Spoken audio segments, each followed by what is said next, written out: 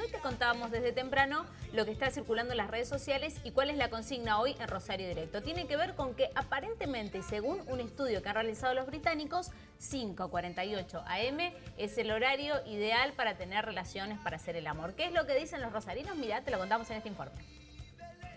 Esta medicación, que resulta como claramente prometedora en algunos aspectos, tiene muchos efectos secundarios y, sus efectos secundarios pueden generar muchas complicaciones en la salud de la mujer. Los efectos secundarios más comunes, porque se trata de un psicofármaco, ¿sí? de un antidepresivo que probado en un grupo de mujeres resultó como efecto secundario que algunas de ellas tenían un aumento de la libido, de la energía sexual. Y una complicación, la más problemática, eh, como efecto secundario, es la de una baja en la tensión arterial muy abrupta y muy repentina que puede llevar a un síncope. Un estudio revela que el mejor horario para tener sexo son las 5 de la mañana 48 minutos. ¿Qué nos puede decir de esto?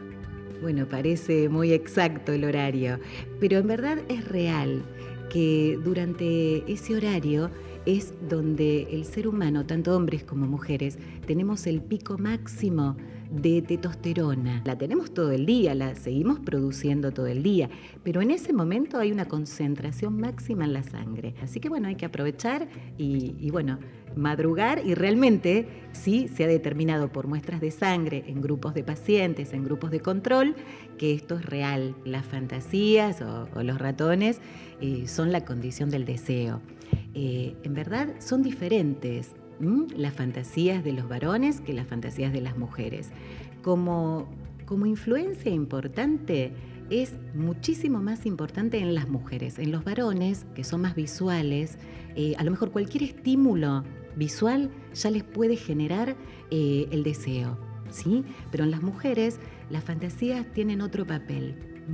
Y a veces estas fantasías están enlazadas con eh, cuestiones que tienen que ver con el romanticismo, con la seducción, con, por ejemplo, bueno, habrás escuchado que hace poco salió un libro y una película, eh, Las 50 sombras de Grey, donde se ve plasmado, ¿no? Como eh, una escritora puso en juego una serie de fantasías que muchas veces pueden ser este, muy, muy efectivas para el ratoneo, para la estimulación sexual, para que la mujer vaya preparando el terreno, ¿sí? sin practicarlas. A veces, generalmente las fantasías no, no, no se las elige practicar, pero sí alimentan el deseo, siempre.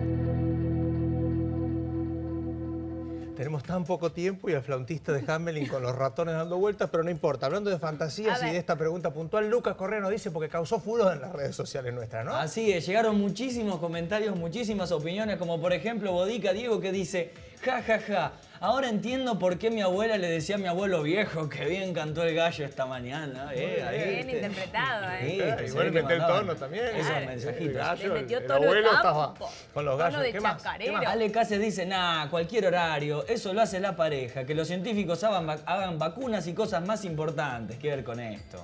Adrián Lamperti dice, a esa hora mi mujer se ronca todo, imposible. Algunos de los mensajes entonces de los que sí y de los que no, eh, muchísimos, muchísimos comentarios, así que les agradecemos y bueno, los seguiremos compartiendo con el correr del día, seguramente van a seguir llegando más. Excelente, y más después del informe que presentamos recién. Hasta luego, Totalmente, nos vemos, chau chau.